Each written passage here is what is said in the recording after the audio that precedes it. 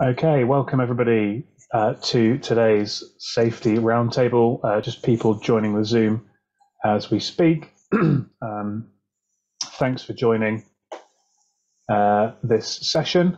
First of our lunchtime sessions, having changed the time of these uh, these roundtables per public demand, we did a we did a poll uh, and uh, several hundred people voted, and it was overwhelming to move to lunchtimes. So uh, hopefully this works better for everybody. Um, and uh, going forward, we'll try and stick to this time, uh, at least for a period of, uh, of a few weeks anyway, and see uh, if we get um, good responses and good uptake and lots of people joining and everyone's happy, uh, which is obviously the the point of this. We're doing this for um, for, for you guys to uh, connect with each other, to uh, cultivate relationships, and to collaborate and share ideas at the end of the day. So uh, looks like everything's working. We're live uh, on LinkedIn, and uh, there's people in the Zoom session. So thank you for joining, and uh, let's get cracking. So we're going to talk today about proactivity in safety, and raise the question of uh, do we have enough of it? Do we need more of it? And um, how could we go about achieving um, a higher degree of proactivity with our safety work? Now, just to warn you, uh, I've got a home, no, a co-worker working from home today, my four-year-old son, who is a little bit worse for wear.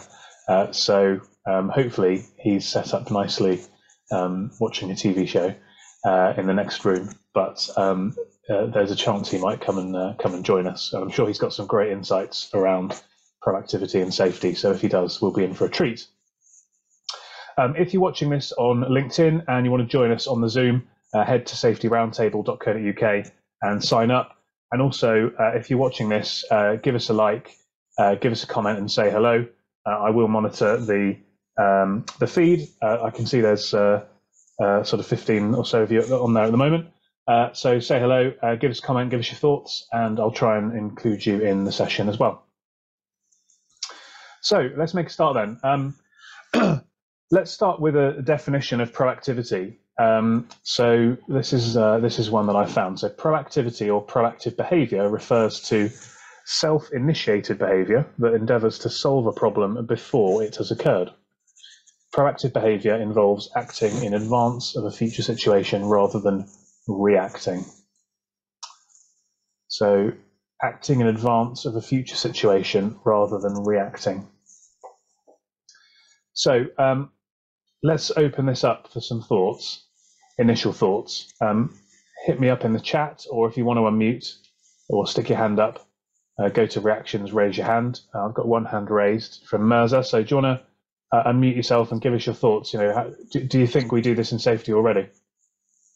I mean, I feel like actually about the proactive behavior, as the definition says, uh, thinking about something before it occurs. So I feel like that it can be like a paranoia also. It can be like a fear. It hmm. can be sometime, you know, like uh, uh, the extra planning or the over planning, which can even stop someone from moving forward. So I mean, it should be in a moderate level. But if you'll just try to think about each and everything, then we can't move because there are a lot of risk all around us, and we need to have a calculated move. I love that. I think that's a really insightful um, point because we want to be proactive, maybe, uh, but we definitely want to be proportionate, don't we? Because, yeah, as you say, you could be paralyzed by fear. You know, just think of leaving your house. If you were um, if you thought of every single potential risk that could happen uh, after leaving your house, you'd probably never leave your house um, because there's a lot of bad things that could happen. Um, so we definitely need to uh, to be uh, proportionate in our in our approach, so that we're not um, yeah, we're not suffering from that kind of paralysis. excuse uh, excuse my French. Um, anyone else got any initial thoughts on that question of do we are we proactive already in safety? Anything else that anybody would like to share? Hi, Christian. Well, first and foremost, let me say thank you. Uh, my first safety roundtable because I've ah, not been welcome. able to attend because of meetings. So thank you very much for, for moving that to the lunchtime session. It certainly sits well with me, and I do hope it will for others. Um, yes. With regards to proactivity, I think is is subject to interpretation. Many individuals, many OSH professionals and employers would say that they are being proactive because there's a number of RAMs and risk assessments and policies out there to try and, you know, a lead uh, uh, or effectively negate any of the risks or limit any of the risks and mitigate accordingly um, on any of the businesses. But the reality is we're not proactive. In the main, not all, but in the main, there tends to be very much a reactive process there. Yes, we have those policies. Yes, we have um, health and safety officers out there, but depending on the race to the bottom, whether it be cost implications, etc., it tends to be proportionate as to whether the business really, really includes health and safety as their key top driver. Many businesses refer to health and safety being their mm. utmost priority, but the reality is often it's about profits over people, uh, mm-hmm. and that's quite sad. So yes, I do believe we do need to have a more proactive approach across all industries, across all employers, all businesses, and with every individual concerned. Good stuff. Thanks, uh, thanks everyone, and uh, welcome, and thank you for joining. Um, there's a lot of P's we're coming up with today: proactivity, proportionality, profit, people. Loving it. Um, thank you for joining. Good to have you on board. Uh, Mark, you've got your hand up. Hi, yeah, um, just the same as Yvonne as well. Thanks. Uh, it's my first time. Uh, the morning wasn't working for me, but a lunch and learn, uh, I can always dial in, and uh, thanks for that. Um, just on the proactivity, um, I, I work uh, primarily in pharma, biopharma, API, medical devices companies, and I would say that they are very proactive um, right now, um, even even down to the fact that they're investigating their near misses, that they're going above and beyond, looking at things. The risk assessments now are legislative that we have to do it. So, I think there's a lot of things that can be done to make us better. Um, yeah. We are being proactive, but I think that we need to be the risk assessments need to be more in depth. So I think people need to go deeper down into the risk assessments, not just on incidents, but to de- dig into the near misses or the uh, the things that have been reported. Even go so far as to look at their see and act culture. Um, when oh, I spoke to somebody not holding the handrail going down the stairs, I think they need to even go to that level when they're doing their risk assessments. And then the what comes from that is when you put forward that argument into management, you know you can actually show all of this accumulation of data that I know a lot of companies have, and you can use that then to be even more proactive. So yes, I think they are proactive, but I think there's always a case for better. But I think it, it is improving. Hmm. Thank you, and and well, thanks for joining, Mark. Um, my uh, experience, I'm going to share some thoughts and experiences on this topic in a minute from my from my past, but um, you're in a sector a bit like um, I was chatting to, to a couple of people the other day from sort of oil and gas, for example, and and and, and it is, I think, just more. Um, you, those sectors are just more attuned to because it's high hazard and high risk, you know, to, to being safe, and it does kind of run through the the blood and the veins of, of people in those industries, perhaps a little bit more than than in some other um, some other sectors. So um, um, yeah, I think you're you're in a fortunate position to be to be in one of those sectors. Oh, I'm loving this. Lots of hands up. Uh, Sue, I think you were first. How are you doing today? I'm good. I'm good. Um, I was camera off first because I had my sandwich. Um, um, yeah, I think we. I think some of the data we use tells us where to um, reactive sometimes because I think boards love to see things like reportable incidents, serious incidents, Whereas I think if they were really starting to analyse some of the lower level incidents, or if they were starting to look at, um, you know, trends in occupational health referrals, lost days, I think that would be a much more reactive, um, a more proactive mm. approach. So I think that can restrict us sometimes. Yeah. And what's interesting about what you've said, which I agree with, is that you need to be a little bit rea- you need to be a little bit reactive because you need to be looking at what's actually going on to then be proactive. so it's, it's, an interesting an interesting thing to think about. Uh, hi Tim from Ottawa. Uh, thanks for for giving your view in in the chat. Um, being proactive often gives people more time to work on solutions which take time to implement. often reactive solutions are limited by available time. Fully agree with that. Um, Rosemary.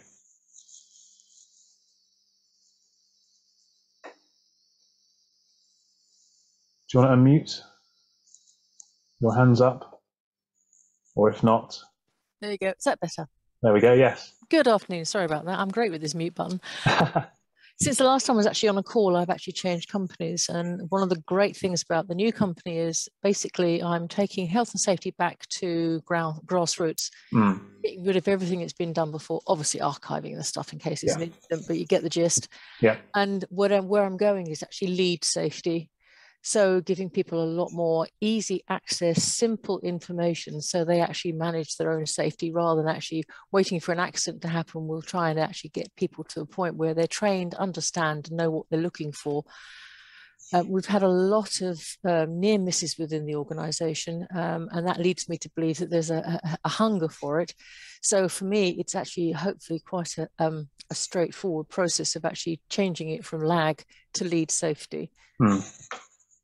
We've had a question actually in, in on LinkedIn from from Vince Butler, who uh, I'm surprised, Vince, you need to get on the Zoom, mate. Um, but uh, thank you for, for joining. But he said actually, and it just you, you what you said, Rosemary, um, made me think of it. Um, question he's interested to ask people is a near miss event, quote unquote, a leading or lagging indicator. So if anybody's got any, anybody's got any thoughts on that, absolutely a lead event. And and one of the things I'm doing here as well is combining health and safety with facilities because yeah. incidents have been or near miss incidents have been reported, but they've just gone into a black hole. So mm. actually, I'm now joining the link together. So we've actually, rather than actually letting a near miss become the next big accident, we're trying to close that gap and actually get things done before there's a disaster, before somebody gets injured. Yeah. So yeah, for me, near misses are very much about lag. It's about being observant. It's about reporting it and actually having the confidence to report stuff, even if you know you think, oh my god, I'm being terribly boring about this.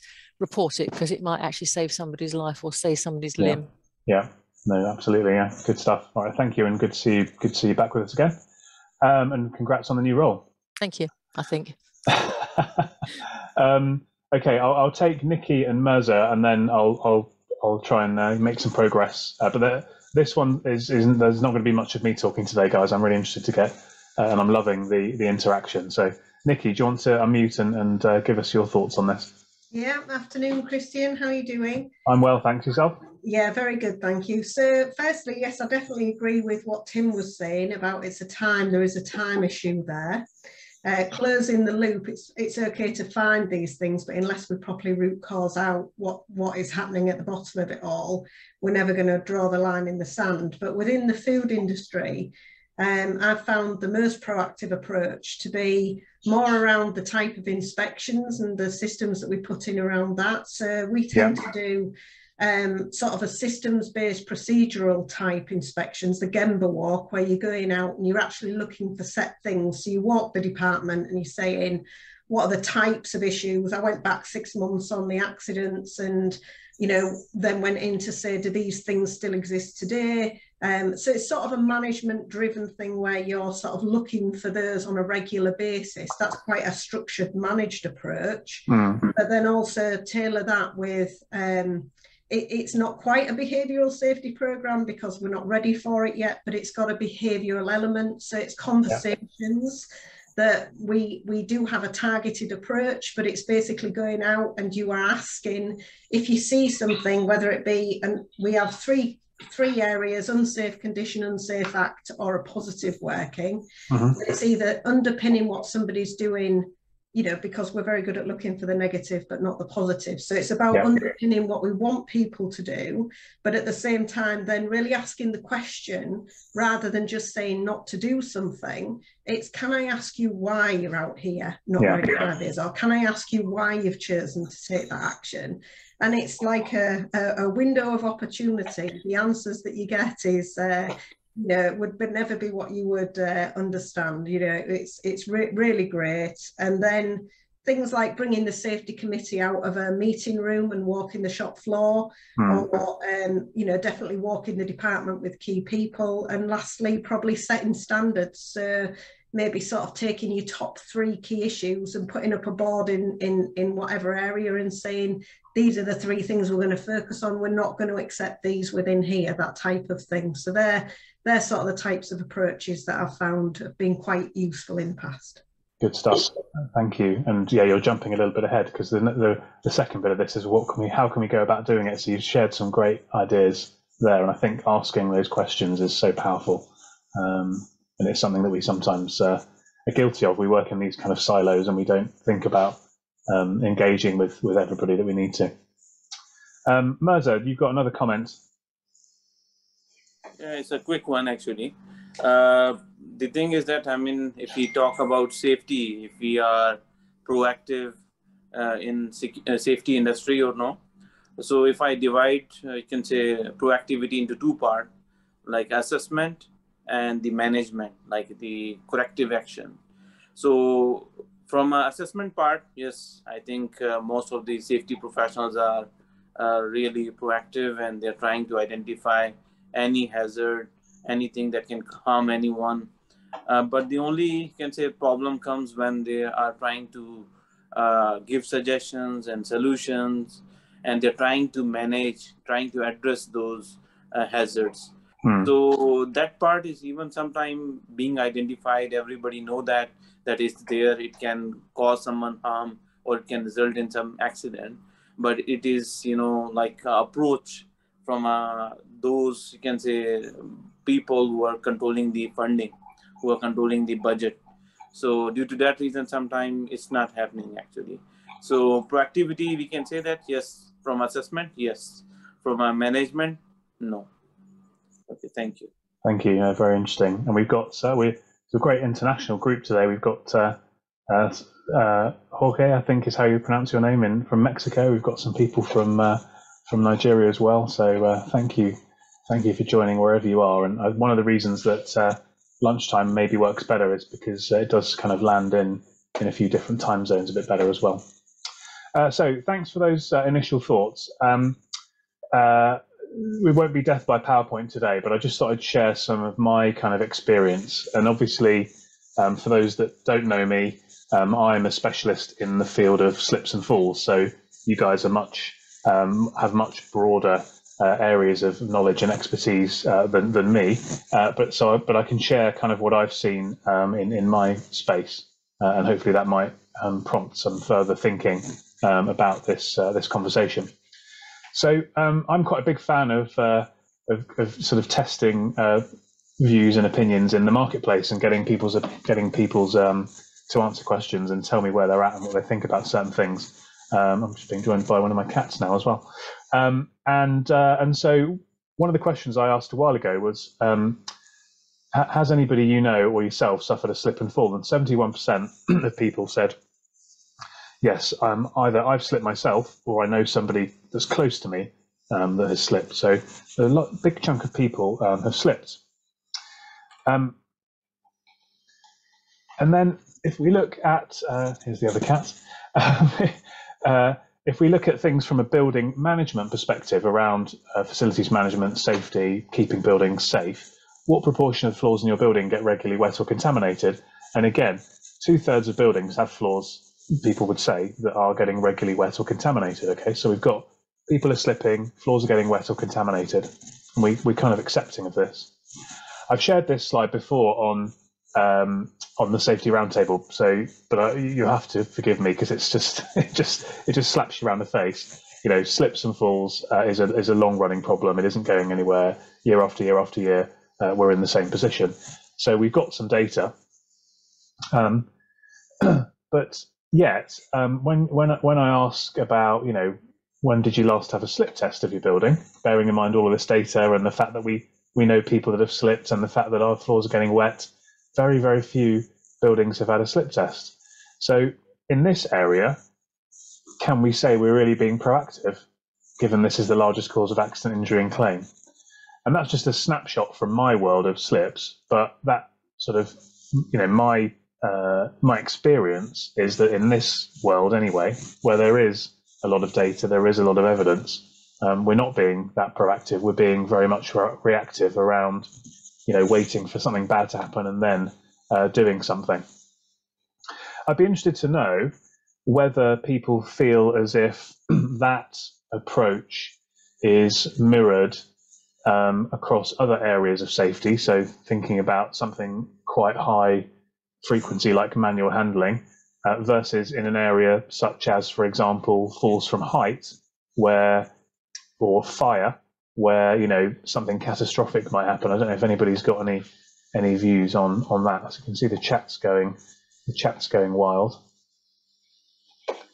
Um, feel free to uh, to pop your hand up if you've got any if you can share any insights on whether that sort of reactive approach that we see from slips is um, is mirrored in other areas.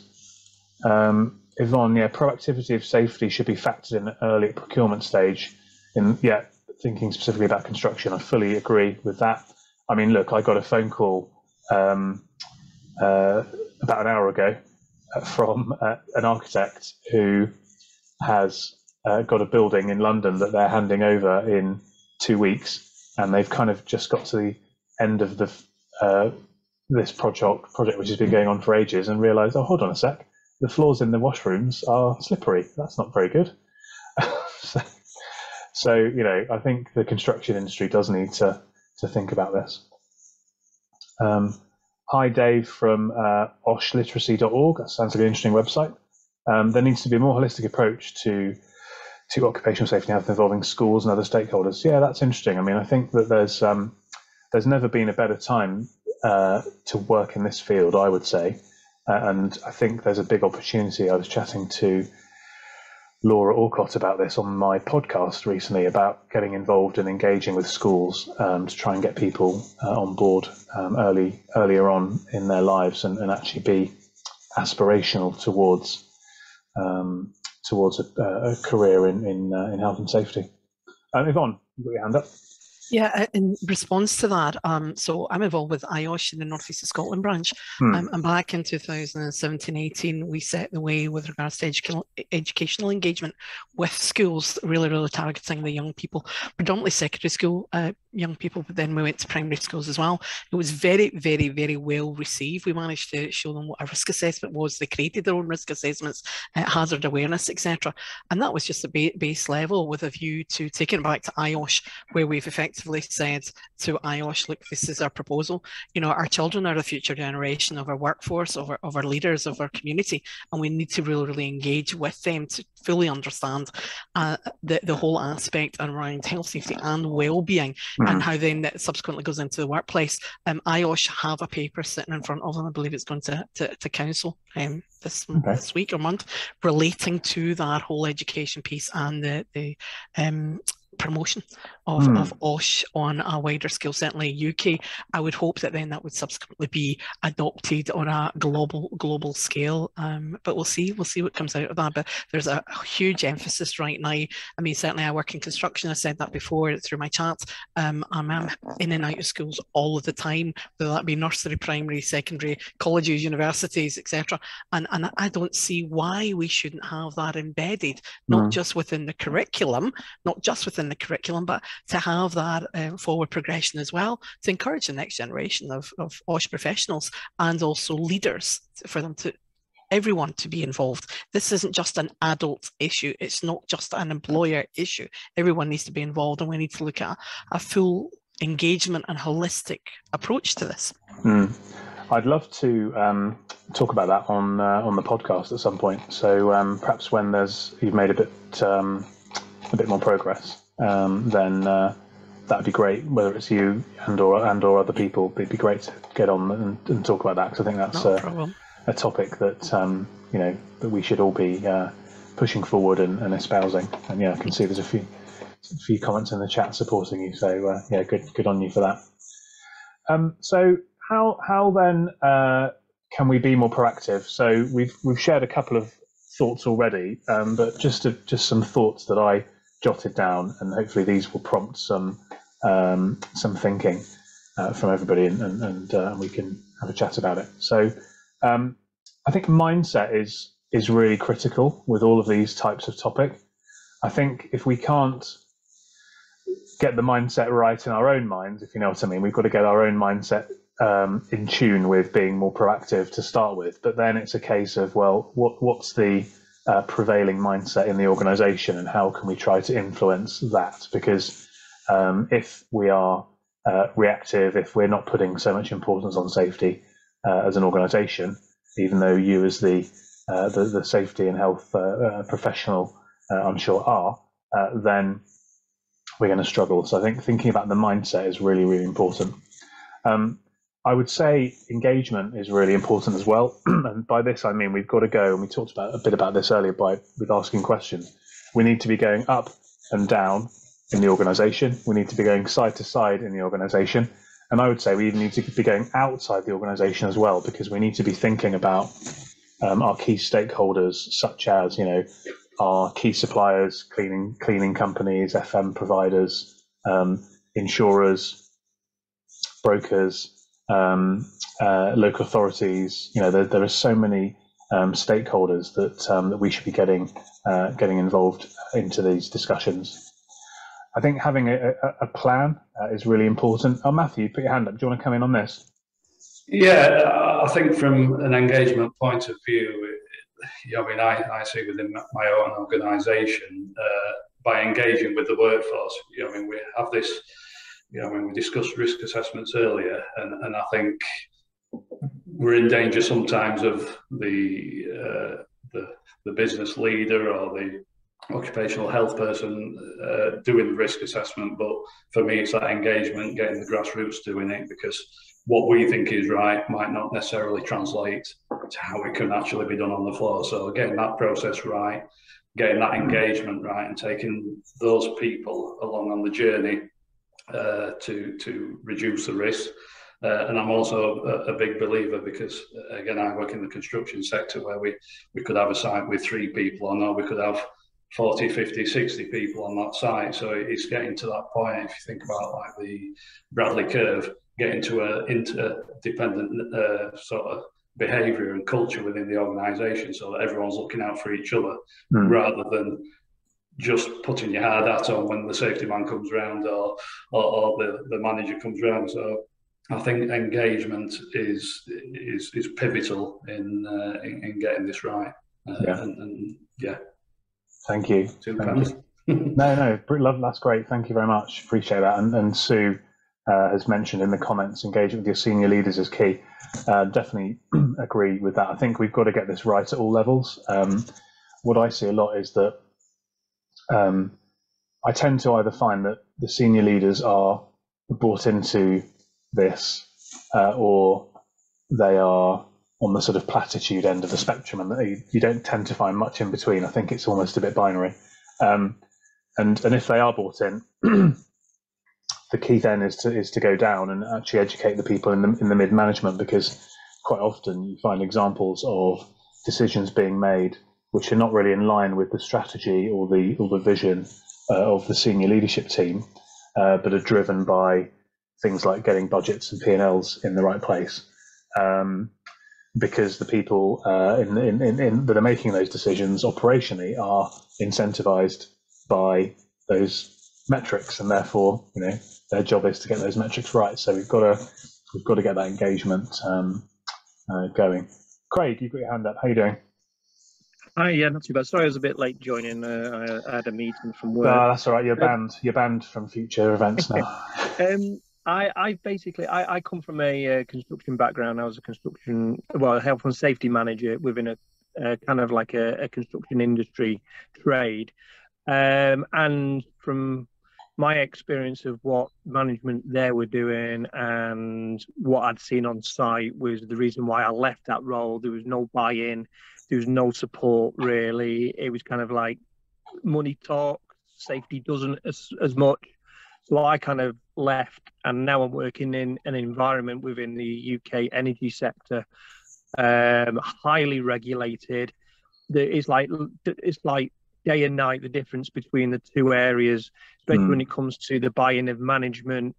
Uh, I'm working on a project at the moment to deliver um, supervisor manager training on uh, basically everything from post pre-job briefs, keeping it safe, communications, um, escalate, de-escalation of um, aggression through to learning from previous examples and you know and it's just totally different the way that they approach it and the way that they buy into it, it mm. i mean we're, we're dealing with people from around the globe on this project now. It's that big and it's been led from the top from the directors and the execs they're the ones that want this to be done because they know it's important and they're they're giving us everything we need. That's the kind of buy-in that I think a lot yeah of uh, companies need to need need to look at really is how do you keep your guys safe?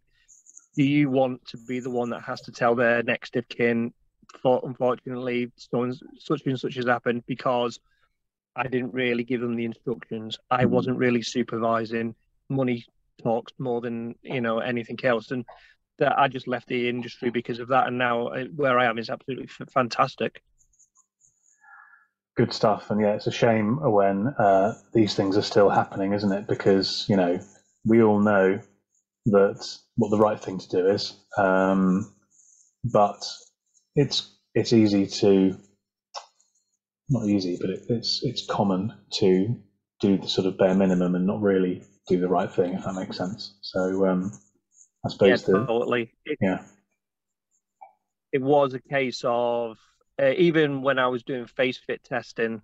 Um, as part of my role, I was doing face fit testing for mask, and it was kind of like refusing to face fit people who were not clean shaven. Yeah. And then I was getting the rollicking, going, well, we can't send them out to job now. We can't build them out because you won't give them a face fit certificate. Hmm. And it's like, well, they, they know the rules. You know the rules. They've got to be clean shaven. I'm not signing a piece of paper no. that basically says I face fitted them when I know that they're not fit. Hmm. So why would I put my name on the line for that? Yeah. Um, and there's little things like that, but it's it's so common in a lot of the. I mean, I do. I used to do CHAS and construction line applications for clients as well as my normal job, and it was quite common that shortcuts were done because the you know because it was the easy route. Yeah. Yeah. So leader, you got to get your leaders in, involved. You got to teach them, educate them, and then hopefully that will cascade down. Yeah, yeah. Matthew's made a good a good comment in the chat here, which is that um, disappointing when leaders don't support the staff quickly see uh, the tick box exercise if um, uh, and then engagement is lost. And, and this is something that I'm really uh, passionate about which is that we we need to um, highlight all of this stuff and draw as many links as we can between safety and business performance and operational success. Because I think every you know whether somebody believes in safety being really really really important or not they they definitely will believe in um, uh, operational you know excellence and high performance being really really important I'm sure of that because that's just you know ingrained in any business. And uh, and so I think the better job we can do at linking what we do and keeping people safe and it's not just about avoiding accidents, it's also about the point that Matthew's made there, which is if people don't feel safe, they don't feel protected, then you lose engagement, you lose um, performance, they're more likely to leave uh, and get another role, etc. Because I mean, we've seen examples of that just on this call, right? We've two or three people have said we I've left because there wasn't that engagement on safety. So you know we're we're proving the point, but we've got to got to do a better job, I guess, of uh, of trying to get that across. Um, yeah, some some really good stuff uh, happening in the chat. So uh, difficult for me to uh, stay on top of every single comment, but thank you for, for joining in, and please feel free to un- unmute and, and join in if you want to uh, uh, to share um, over and above as well. Um, so other, other points that I had uh, thought about were obviously having a plan and having some kind of strategy. Um, so something written down that we can then get when we get on to the last point about monitoring, we can actually start to assess how well this is working. Because again, I think that the challenge around proactive measures is often that we are expending time, energy, and cost on something that we can't necessarily prove is a saving or a benefit or efficiency. So um, we've got to have a um, a plan, a strategy, something quantifiable that we can measure against. I think that will help to support uh, to get the support from from more senior um, people. Uh, Vince has asked on uh, uh, on LinkedIn, how can we include occupational health risks into this proactive strategy? Consider the UK has 2.2 million construction workers at significant risk of um, silicosis. Where's the proactivity been to allow that horrible phenomenon to manifest? Yeah, don't think uh, don't think many people will be disagreeing with that. Um, communication. Tim's made a point in the chat here. Safety culture must be explained to all levels of management and has to be demonstrated by all. And that's kind of where I was coming at with uh, with this point about communication. So we need to. Uh, Lee from Florida. Well, thanks for joining. Um, we need to uh, have our plan, have our strategy, get the engagement right, so we know what we're doing, and then we've got to communicate um, the hell out of it, really, because otherwise it's going to fall down. Christian. Yes. Sorry, just um, hey Neil. Just just to sort of um, better on what you were saying about having a plan and communication. Um, having worked in quite a number of industry, quite a number of um, companies in the food industry, I've uh, come across exactly like everyone else has been saying here, a whole wide range of um, senior management attitudes to safety and uh, and their views on it. And from excuse me, from my point of view, your, your safety strategy has to buy into the company's goals, uh, strategy. It's not a bolt on you can put on the side of any, anything. It's got to tie in with the whole business ethos. Um, and that way you get the buy-in from uh, from the management level, the, the directors, hmm. um, and you can start to build bottom up as well. Um, but that's that to me is absolutely key. If, every, if everyone's singing from the same uh, same song sheet, it it makes it so much easier.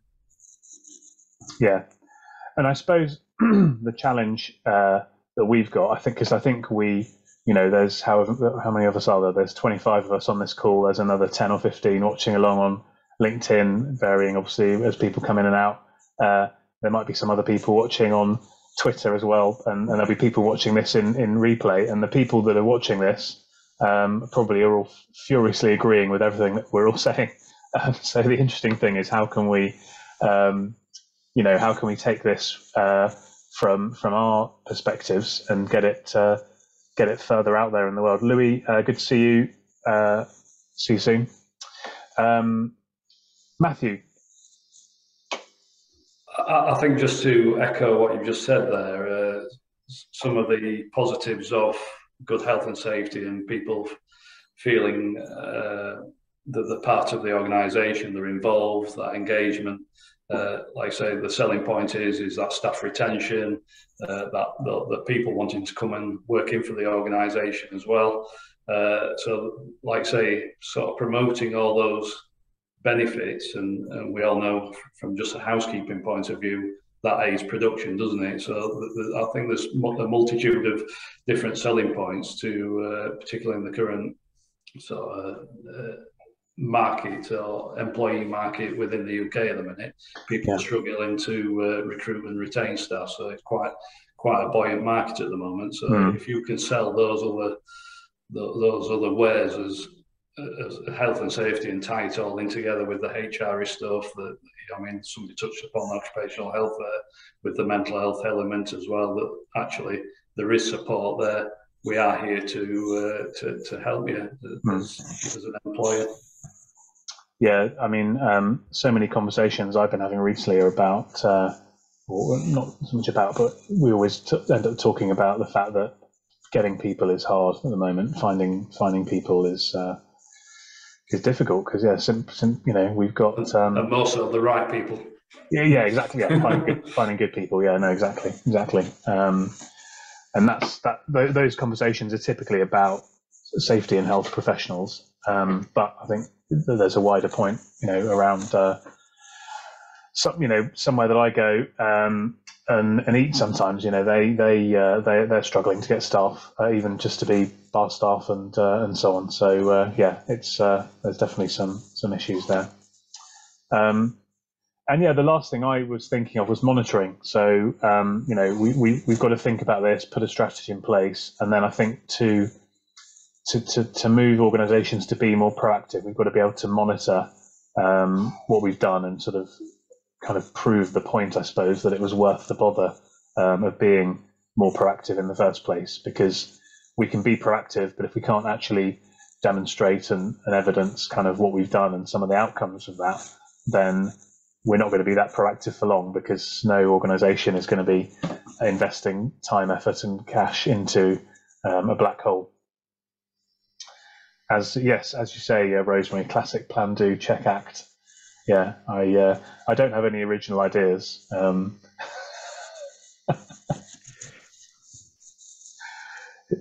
um, what's Lee saying? Lee's saying, Lee from Florida. Here in Florida, as we recover from a major hurricane, there's a massive influx of small businesses and contractors, but there'll be additional spike in occupational accidents in the process. Yeah. Very little being done by most of these contractors to mitigate risk.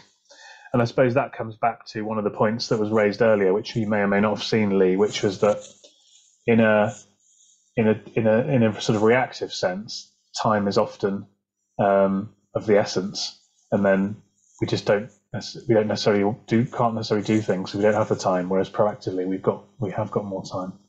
We have got more time. Um, Lillian, uh, most employers are negligent on safety issues. They don't take it seriously. So there's a big gap in the induction provided, of which auditing may be needed as employers' compliance after training and induction. Yeah, I do think that we've talked a fair bit about induction in the chat today. I noticed and getting the training right. So I do think that that's really, really, uh, really, really important. Good stuff. Well, look, it's uh, we've almost done 45 minutes, um, and um, I'm conscious of trying to keep these to about 45 minutes.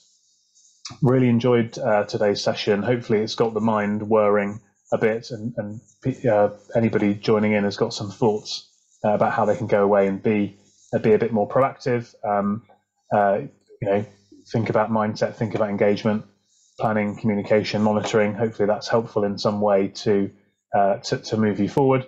Um, thank you all for, for joining. Uh, first of our lunchtime sessions, uh, lots of good engagement, lots of good in, interventions, and people keen to chat. I think perhaps uh, my main learning from this session is that um, uh, people seem to be much more happy to talk at 12.30 than at 9. Perhaps the caffeine at 9 haven't quite kicked in into people, so I do appreciate that. Um, I don't have a topic for you next week, actually, uh, so I'll think of one and I'll let you know uh, everybody that's on the Zoom will be on the on the emailing list, and I'll stick it out on LinkedIn and stuff as well. So thanks very much for joining, and we will see you all um, next week.